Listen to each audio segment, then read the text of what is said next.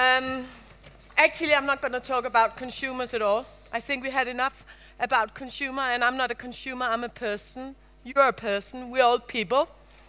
And some have been kids, some have kids.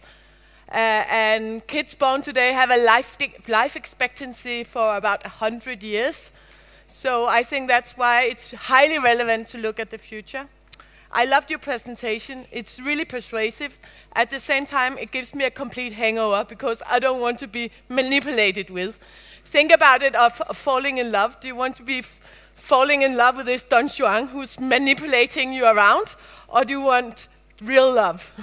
so I think, I think that's a serious choice. And I think the consumer is going to, or people are going to stand there and um, I'll just give you a new figure that came out in, in Denmark, and it's actually people living north of Copenhagen. They live 10 years longer than people living south of Copenhagen. And the only real difference is what they eat and how much they exercise. So it is a new A and B team, and, and in that sense, I think we will see a counterlash if we are manipulated to the extent that we die and life expectancy is shrinking uh, yet again. Also, we had the Unilever message yesterday, which was very clear about needing six planets for doubling growth. Uh, that as well has to be handled. I spent one and a half years working for IKEA, and they talk about that it's great with all the Chinese and the Indian people coming. The only challenge is that then we need two planets uh, to have just the IKEA furniture. So they're talking about the big crossroad projects. Uh, we spoke about it uh, last night that maybe the governments, they are only in for a very short term, and actually it's a big corporation that are truly global and in it for the long term. So there's a big responsibility lying on your shoulder, especially when you hear how stupid we are as individuals, which we are. Which reminds me of another situation um, just previously where I was stopped being on my mobile phone in my car which was really irritating. Anyway, I got a file, and in Denmark we lose points. No, no, we got points. I got three points. I can have nine, and then I lose it. Anyway, I got my three points, and I was really angry, obviously phoning my friend to tell.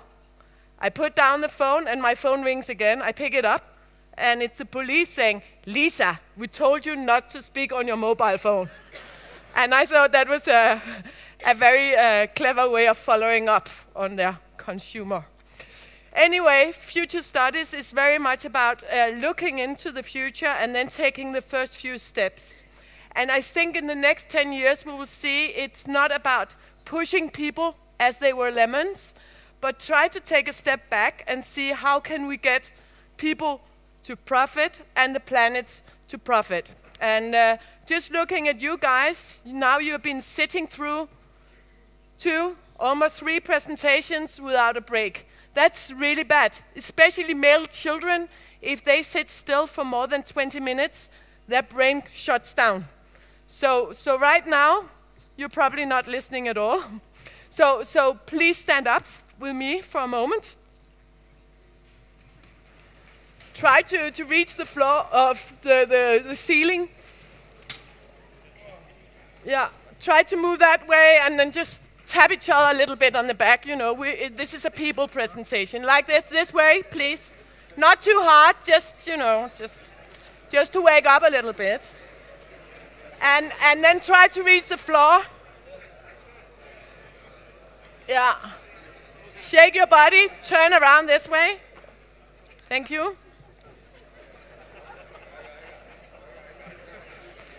Okay. So now I hope you can stay awake for, for the next 30 minutes or so, which is uh, my presentation. Um, but again, taking people serious is the main point if you forget everything else. I'll talk a little bit about the market situation, and I will talk a little bit about people. And then it's up to you for these next 30 minutes to leave your professional code outside a little bit. Try to be people with me and keep that feeling when you go back into your next concept development mode. Because I think that's really where the blind spot is. It's thinking consumer, thinking about numbers, thinking about manipulation. Sometimes it's about love, it's about loving people. So, so stay with me on that for a little bit. I love taboos. which is another way of talking about the irrationality of people.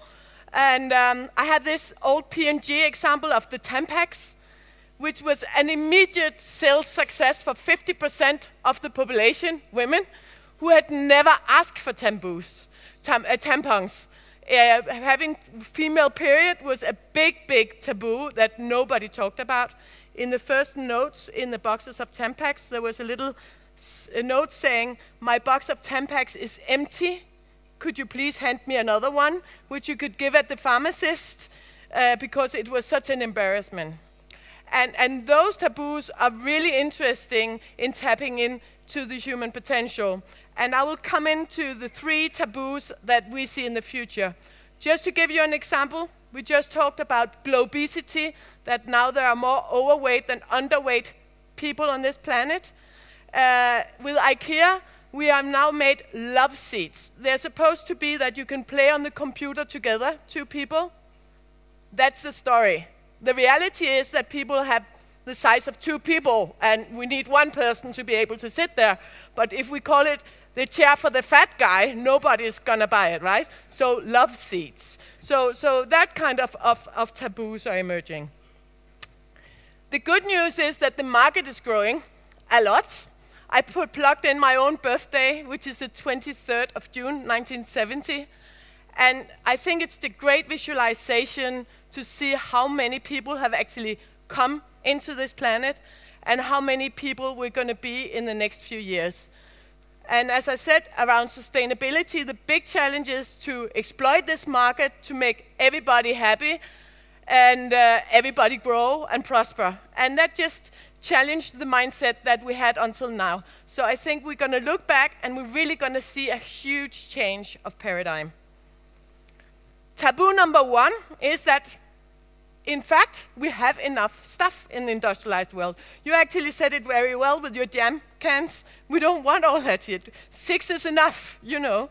And, and looking at, at the modern way of working, you know, he has one computer, he has a little bit of food. We only need three meals a day, right? And um, so, so, so, in a sense, we have reached this added value peak long ago, and people realize that. So, what do we do? Well, I think if you want to have success in the future, you need to know why you are in the market. We actually talk about this digital generation, the generation why. They want to know why are you here? Why, are you, why, why would the world miss you if you are not here? You know the law of Archimedes of lifting big problems and challenges? The what? It's impossible unless you have the little rock of the why lying underneath. Then you can lift almost any challenge. So the next generation will be asking you why all the time. Why are you doing this to me? And now I have the uh, funny Colgate dental floss advertisement because I think they, they actually managed to say why. Why do we need us, them? Because if people have something in their teeth, maybe look in each other's teeth and make a smile, you know, you will focus on the black spot completely. But likewise, uh, with, the, with the dinosaur we saw in the corner, this guy has six fingers on one, and there's an arm coming from nowhere. And we don't see that. We are completely focusing on what's wrong with the teeth. So I guess that's a great value proposition. The actual dental floss, we don't care about that. But we do care that people notice nothing else but the black spot on our tooth. So that's really understanding the why am I important to you. We heard from Unilever that soap well, is that important? Yes, it is actually quite important. It can reduce child mortality by 67%. That's something good then, isn't it? Then uh, I think there's a very good reason to explain to your kids when you come home, well, I've been selling soap to the world. I'll tell you why. And then why should we have brands? There's an interesting survey coming out on that, showing that if you go to a job interview, and you know the young, the youth unemployment is huge in Spain, if you actually go to a job interview in a suit with a brand, you have a 47% extra likelihood to get the job. So that's a good reason to scale up when, when you go shopping instead of scaling down, I guess. And also, they found out that people were actually giving 53% more for charity if people collecting the money was wearing this, in this case, Hilfiger suit and shirts. So, so in that sense, I think it's a very good idea to wear a brand. Also, glasses, by the way, it makes you seem 30% more clever than you are to people. Why Coca Cola? Well, this came out three days ago. And I think it really goes to show that we are in a transition where they really need to say, Why am I in the world? Here, they have now put vendor machines up, which allows Indians and Pakistanis to talk to each other. Is the sound on? Where's the sound? It's not there? Is there no sound?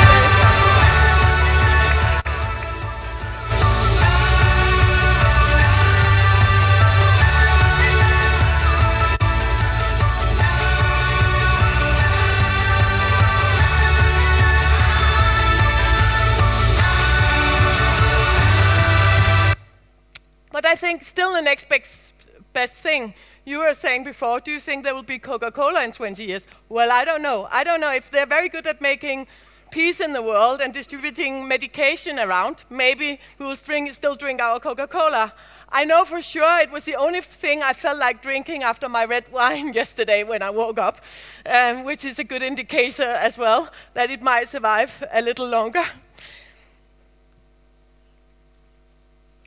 So we have this generation of people asking why the young generation, maybe below 24 years. And there is a very uh, different approach now. It's about what gives me value, what is important. We've seen Airbnb, which is actually an exchange service where you can rent other people's houses, growing as the biggest growing company in the state last year. And basically, I have these four kids. I want to go to New York. Of course, I rent a house where they also have four kids four bedrooms. I borrow their car. I can even borrow their dog and buy treats for them. And uh, I'm not worried that I will spill something in a nice hotel and I won't feel at home. It's plug and play, it's instant happiness, and it's at a completely different rate. So, of course, it's far more suitable than this hotel business where you are all reaching a common uh, factor. When I go away with my boyfriend, I choose to stay in a tree somewhere exotic, or I do something else crazy, which Airbnb also allows me to do. So it's a different kind. If you look at a drilling machine and say, why do I have a drilling machine? What's the purpose of a drilling machine? Anybody? You know a drilling machine? It's, it's a hose, right? It's not, for some guys, it's drilling, but how, how much do you think a drilling machine is used in its whole product life cycle? Guess I have Danish chocolates for you as a present. Three minutes? Three, three hours? Oh, three, ti three times. Yeah, it could be three times, but it's used in an average for 10 minutes in total between 8 and, and 10 minutes. And again, if you ask what is valuable for me, it's a hole in the wall, right? So what we see now, and that becomes interesting for you with the casino and the local community supermarket, is that people in the next year, 10 years, and it's already happening in Spain due to the crisis, will start helping each other. They will start using modern technology to access. It's much more important to access the valuable thing that can make you rich rather than actually owning the drilling machine yourself. That will only put up stuff that won't make you be able to move around in your house. So using modern technology, we sit at Soho up there, which is a hundred small business, small and medium-sized businesses sitting together. We have the best interior decorator. We have the best organic food in our cantina. We have the best meeting facilities. Come and look us up if you like. And I don't have to do any of that. I can just scale up and down. I even have a 3D printer. I can access all that. I don't have to own it. I don't have to control it. It's just an expenditure for me if I have to. So, so that kind of valuable shortcuts is going to be extremely important in a world that is in a finance crisis. And this is not only the industrialized world, the developing countries, they're using this shortcut as well, big way. Um, right now, um, well, TaskRabbit is where you can actually uh, give services for each other. It's growing very quickly in the UK now. Do you know what service people are asking most for, for help for? Anybody? Excuse me? Cooking? You will have a chocolate for trying. It's actually putting IKEA furniture together. So that's, uh, that's uh, something people really need. TaskRabbit puts you in touch with friendly, reliable neighbors can help you get just about anything you need done and put some free time back in your day. TaskRabbit.com. Do more, live more, be more. Right now, uh, we are working on a project which will make it safe to hitchhike. You know, 97% of people, they sit alone in their car. You saw the traffic jam in Madrid maybe last night or every day. And, and it's, it's crazy, isn't it? Uh, so you can use modern technology and pattern recognition just to put out, and you, I will be told, oh, he's actually a friend of mine via this person, and he actually has a great rating, and he's also a good driver, and I can just get a lift. So why bother, you know, looking for parking myself? Uh, also, in terms of the cars, well, a car, average car is used less than one hour a day. Why can't I just leave it with friends who need it while I don't use it and I'm sitting in my office anyway? That kind of transitions are happening right now. The first time I came across it was at Rodeo Drive in Los Angeles, where I saw this infinite closet. What they do there is that they give women dresses, Gucci dresses, which are normally uh, 10,000 euros. You can get it for 700 euros just for one night but you only need a nice dress like that for one night. And at the same time, you get a contract that nobody else in the state of California is wearing this dress. You get a bag to go with it, you get the shoes, you do your party, you look great, and then you deliver it back to this infinite closet the next day. It's perfect. I mean, because when is it valuable to you? When you're wearing it, not when you have all these uh, high heels in the closet. And uh, the movie stars right now, they're stepping in and out all the time. And it's becoming really not status like to go and have all that stuff for yourself. To a bus and offer your empty seats in real time to potential riders along your route, extending the reach and frequency of public transport options for commuters. Anyone can get a ride using a mobile phone or online and receive the information they need to travel in confidence.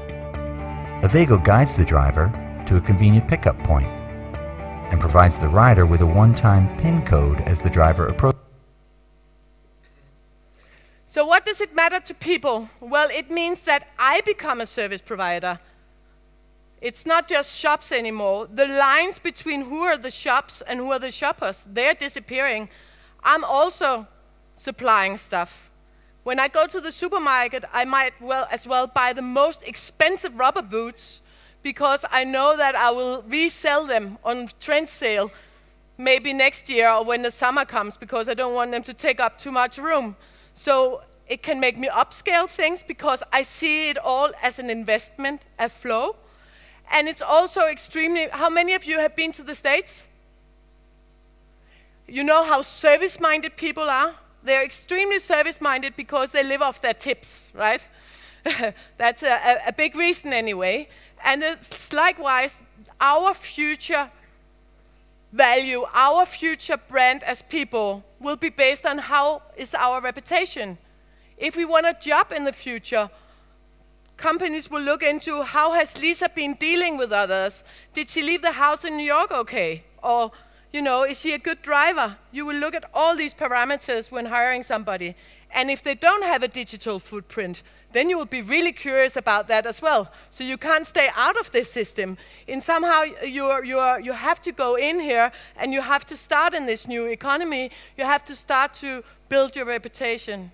In terms of businesses, it's no longer just Unilever. I'm going to follow you personally. I'm going to look at your digital footprints. What decisions did you make? What did you say at this exact conference? So everybody is going to be held far more accountable in the future. We won't be able to hide behind brands. We are all individual brands, if you like. So that's a taboo number two. People are not going to look so much as to what education did I get? You will actually just go and say, okay, we have Lisa as a speaker. What exactly has she been doing the last three months? And you might even have filmed it with your great cameras. So uh, you have actually tracked me in the shops. You have seen me picking up my kit.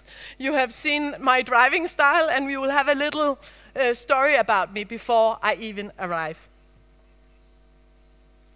And uh, what does it mean? Well, we have for a long time been very uh, recession-like. We don't want a new car. We want a small car. We don't want to have a nice house. We want to, you know, save money. Well, if this new economy really takes off, in order to have a good reputation, I've just been out buying the best cleaning materials at all because I had some people staying while there was a European Song Contest in Malmö last weekend. So they had this whole uh, family coming.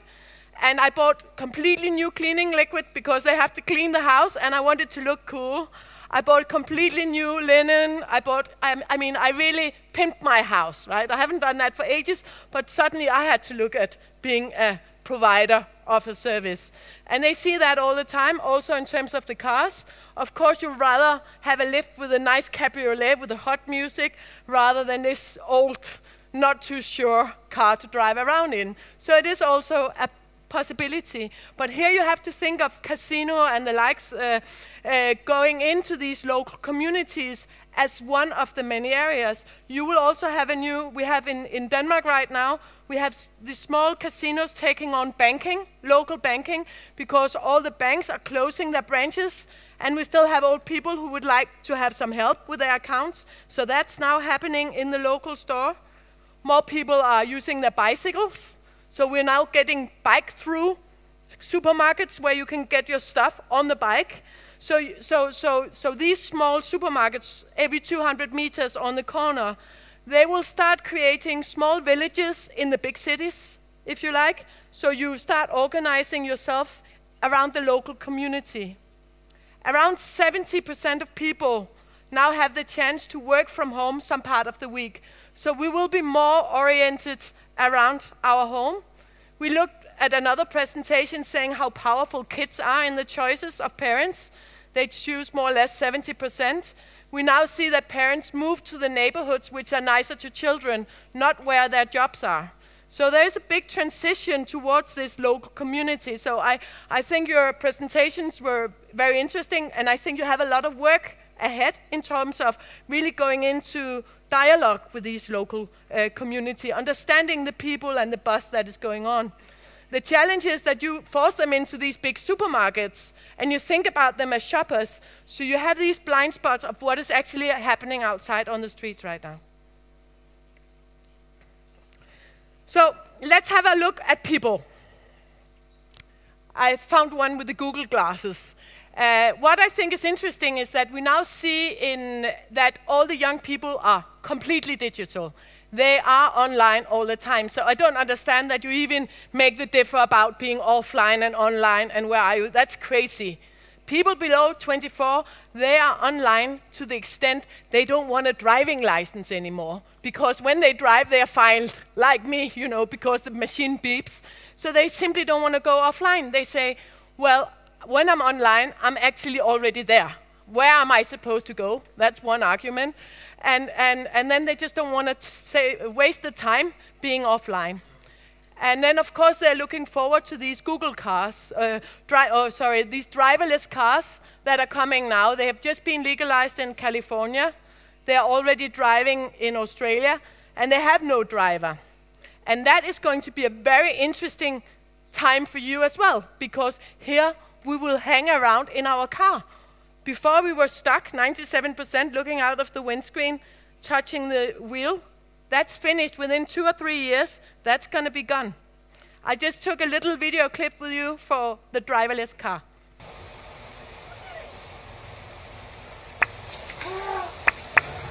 Hi, That's the brownie? Yeah. Oh my god.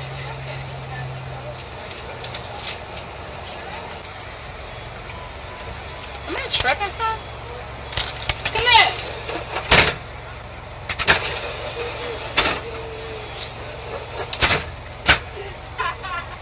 No, look, like I'm not tripping. Joint. Hold up, hold up. Oh, snap. What just happened? Hey.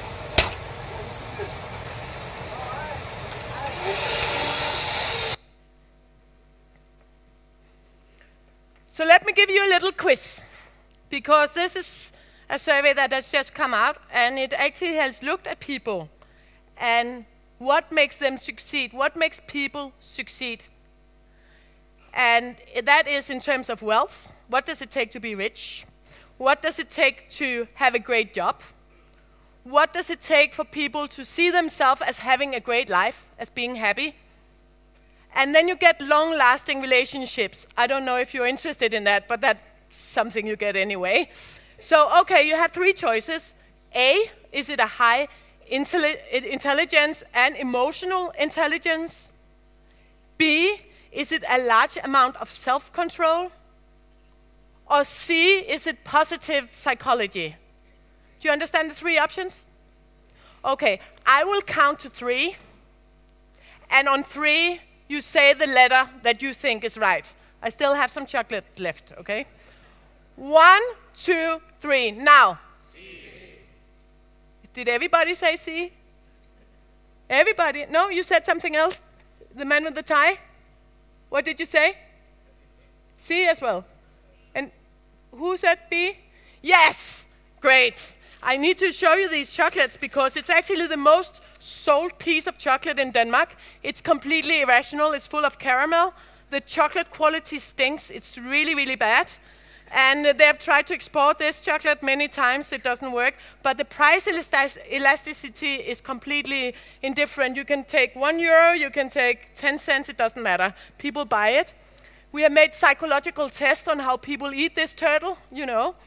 And um, I was really happy, you know, using it as a reward to people who are saying the right thing, like you. And uh, I, I, went to a shipping company with these, and the good energy went out of the audience. They went stiff, cold, felt bad. And, oh, can I just borrow it again? And, and it turned out they had their boss, uh, and he actually bought this turtle to people who hadn't performed very well. So if you didn't have the proper numbers, it would be on your desk when you came back from lunch, and you knew you had a serious discussion with the boss. And if it was lying upside down, you were fired. So I understood why they had a problematic relationship to the turtle. But anyway, for you, it's a reward. Congratulations. Um, so, anyway, the right answer is a large amount of self control. And it really comes into the irrationality of our previous speaker, because this is a result stemming from this survey, which was four year old kids. You had a researcher leaving them with a marshmallow, saying, Now I will leave the room for 15 minutes. If you hadn't, haven't eaten this marshmallow for these 15 minutes, I will give you another one. And the kids are sitting there, you know, and they can't help themselves. We are irrational people, so we eat the marshmallow, right? And a little percentage of these kids, they manage to look at their marshmallow and not eating it for 15 minutes. And looking at them as adults, they had the self control, which is what it takes to succeed in the industrialized world, because it's about saying no. It's about not being manipulated. It's about saying no to this uh, low interest loan so you can go on holiday with your family and you almost have to pay back nothing. Then you are not becoming, if you say no to all these loans, you will become rich. You know, you know about Spain. Yeah, they should have said no long ago. Anyway, if you get a great job, it's the same. You know, you have to train, you have to work. Uh, it's about focusing, getting the longer education, not going out partying too much. The long relationship, likewise, you know, if you want to have a long relationship, it's about saying no uh, to a lot of other options. And uh, if, in terms of your health, of course, it's about saying no to 99% of what you see in the supermarket, or you have this obesity uh, issue. So, um, I said before, 80% of our health expenditure now is on lifestyle diseases.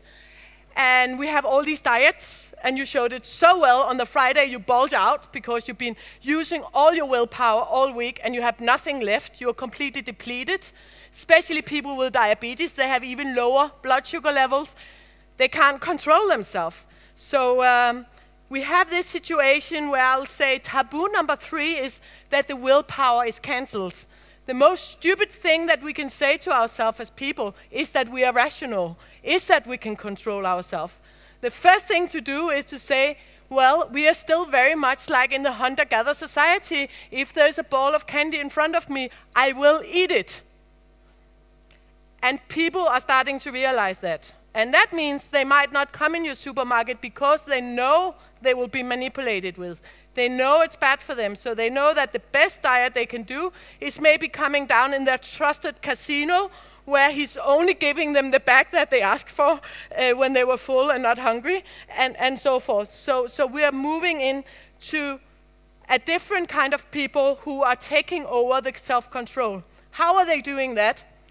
Through body hacking. We think body hacking is going to be the big Christmas present in 2015. It's going to be the big blockbuster. We see that in Silicon Valley, people are investing heavily in this. What is it? Well, it's a little jewelry. You have it around your neck, and it films everything you do. It films how much you sleep, what you eat, how, the speed of your eating, how warm is your house. Maybe you could throw some kilos, reducing the temperature in your house by, I don't know, three degrees, and you would also save some money on your accounts. And so it basically, how many of you use a smartphone for running? Quite a few of you. How many are posting it on, on Facebook? Yeah, so you're the fast runners. Anyway, um, and, and when you go running and you have forgotten your, your smartphone, you will go back and pick it up because it's almost like you didn't run if you didn't bring it and if you didn't track it. This is what we're going to see, but it's on all parameters. It will show me whether it's good to have my job or what clients am I stressing with, what people am I feeling with. I will type in, I need to eat fish twice a week. And by the end of the week, I will get a sweet reminder. You know, Lisa, you put up these goals for yourself. And you will have constant feedback, optimizing, individualizing. Here you will really look into my story. So what we get now is a digital stick or like when you take a car, you have a GPS telling you where to go. We will start using that for the humans. So it's combining all the information about you, and you're willing to share it to trusted advisors, like your doctor, maybe uh, with your insurance company, if you, they will give you a lower policy if you actually show them that you do your 10 steps of walking and you have your fist twice a week or whatever. But they will be very hard to target. So if you think it's hard now to meet people, just wait and see. And uh, it's, it's not just giving us information with smileys, it's interacting with us. It's going to be like a game where you all the time are challenging yourself so you get enough friction to develop and move.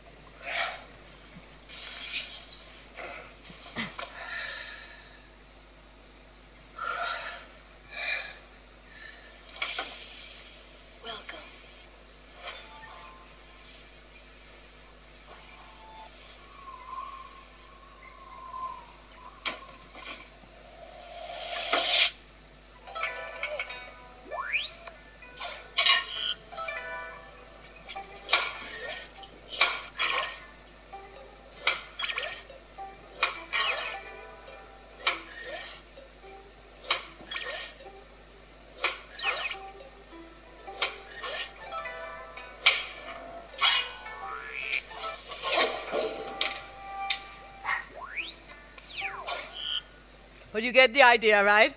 Um, and, and next time I meet you guys, we're not sitting with this translator kit, we will sit with the Google glasses. And what they can do despite, uh, besides from translating, they can also translate uh, finger hands language for deaf people. So, so we can actually uh, invite people who cannot hear anything and they can communicate with us.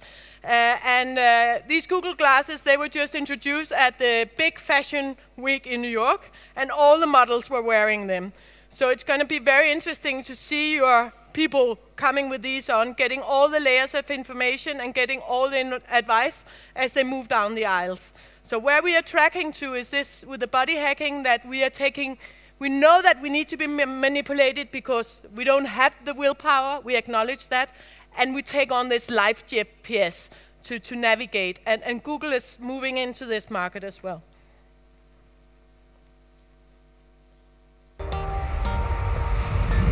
Fashion Week is very important for New York City.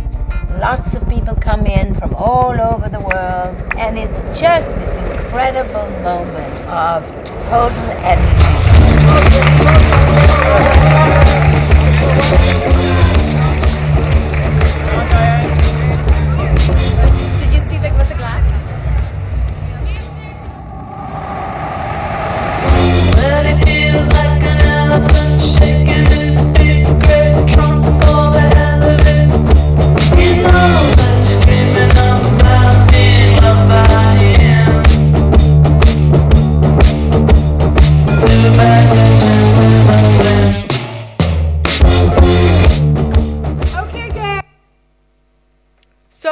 Just want you to turn your head and tell your neighbor, are you going to let yourself be body hacked?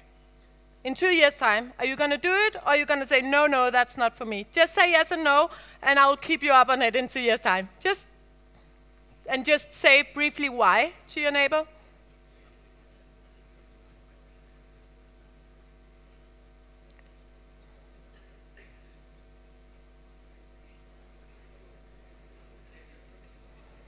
Will you use it? Tell each other? No? If you cannot get an insurance if you don't do it? Mm -hmm. And if all the others are doing it, we have the horde effect.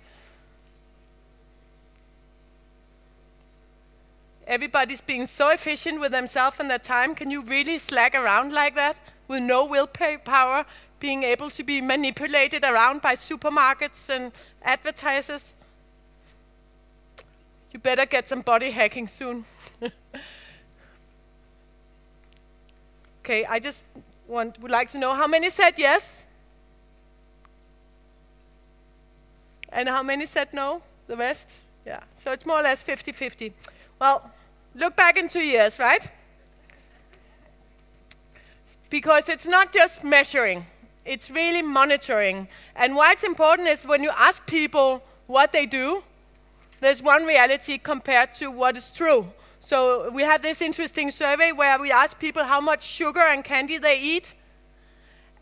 And then we compare it with what is actually sold, and we see that 40,000 tons of sugar and candy is going missing just in little Denmark in one year. So there's really a big gap between what people say and what they do.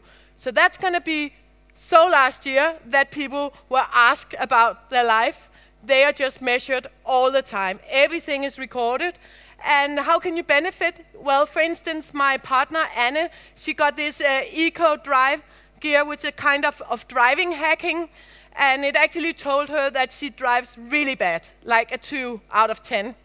And she said, had my husband told me that, you know, I would have hit him. But since it's a machine and it's actually giving me advice on how to become a better driver, it's okay. She's now on a 6. So so um, it's just to, to, to say that, of course, we will do it. And I was supposed to talk about my story, and we love my story. We love storytelling, but it has to be related to me. What does it mean to me?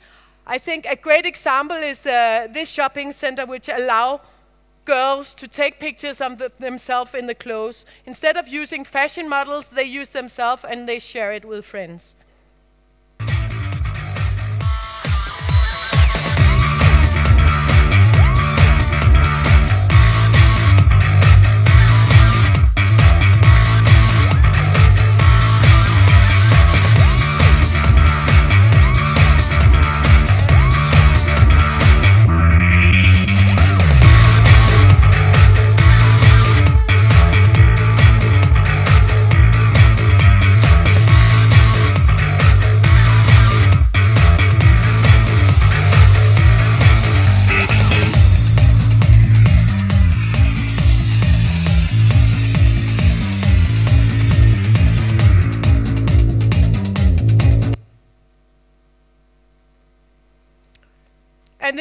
Just come out and it just uh, communicate with your wavelengths. So if you've been really stressed at work, it's an anti-stress. It will actually on your smartphone tell you now it's time for five minutes break or now it's time to listen to some music and it will come with suggestions. And right now the, the evidence is that it actually is a good uh, way of, of combating stress, for instance, and you can actually work far more efficient. And it will also tell you, you know, to turn off your phone and, and to stay focused. So it's helping us to be better people. That's the idea. So why do we want to do this? Because we want to be transformed. We don't just want to have stories. We don't just want to be my story. We want to be transformed. And the best example I've seen on that lately, it's actually the Refugee Museum in The Hague instead of having posters of information, of telling people about how many refugees there are in the world, when you get in there, they take away your identity papers and you have to struggle all the way through and you lose your nationality, you lose all your rights, you really have the feeling that I have nothing.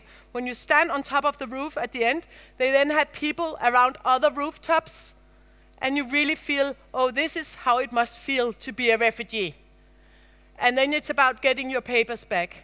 Likewise, I just went to a conference with Novartis, who makes these diabetes products, and they have a big problem getting their staff to realize what are we actually producing. They have years of the launches, year of the launches. This time, they, they played around with the blood sugar level of people. They got them really angry. Then they gave them a kick. Then they got them in another mode. So they could actually feel what is the medication actually doing to people. We want to be transformed not just my story, but the next step.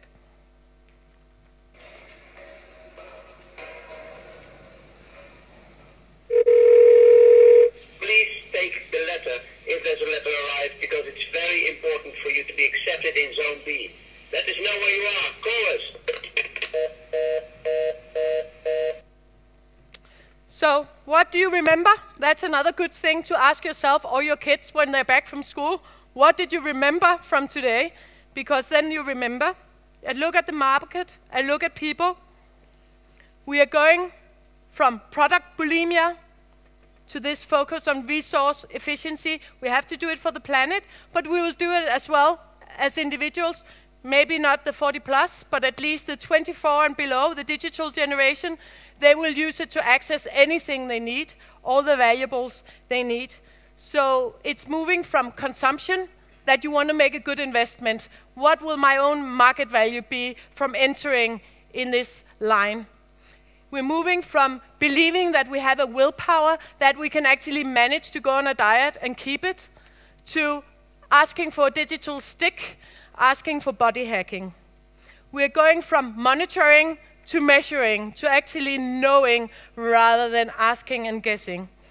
And we're moving from just inspiration and posters and information overload to actual transformation. And we're moving from storytelling to my story.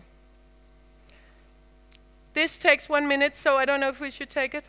Is it okay with you guys? It's a very last, it's just another survey shows we have always thought that it's only as a child you have brain cells neurosurgeons have found out we get new brain cells every day. So that's really the good news of the day.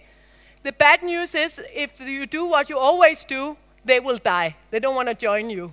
So if you want your new brain cells to live, you have to start experimenting. You have to go somewhere. You have to stink at it, being bad at it. You have to move somewhere uh, where you haven't been before. Then these new brain cells that you had today, they will survive taking on these new tasks and projects. This is really, really interesting. And that's why we believe that the future generation, they will have five different careers in a lifetime. So really institutionalizing this experimenting. And I know the only one who likes change is the wet baby. That's hard to translate. But, um, but nevertheless, spending time of, on experimenting is the way of staying young.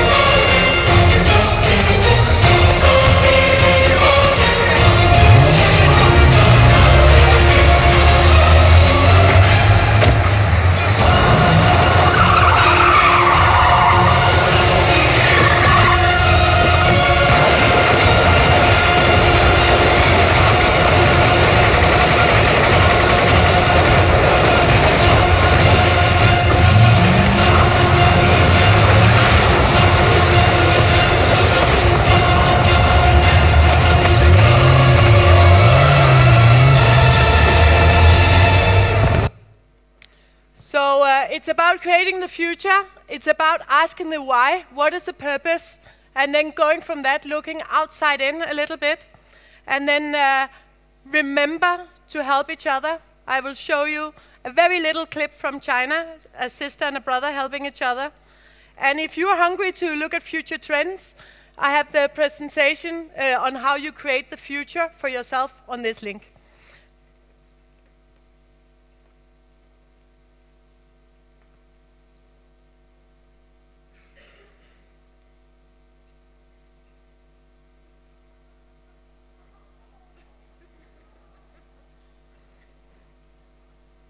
A real gentleman. Thank you.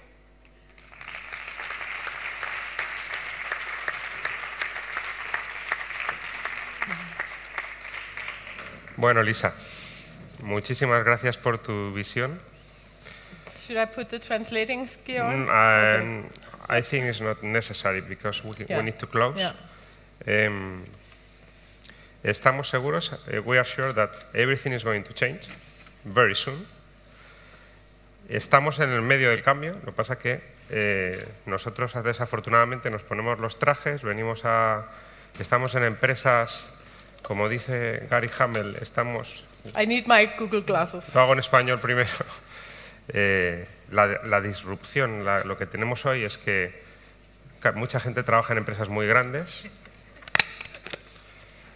trabajan en empresas que están usando hoy tecnología del siglo XXI, toda esta tecnología la están empezando a experimentar, con procesos del siglo XX y con jefes del siglo XIX. Es un poco lo que pasa, hemos visto. Entonces, es difícil de aceptar en el, el 50% de tu parte de vida, que es el trabajo, todo esto que está ocurriendo. Solo pasa con pequeñas compañías muy innovadoras o gente muy, muy diferente. Pero muchísimas gracias por tu, por tu visión. Vamos a valorar la ponencia de Elisa, por favor.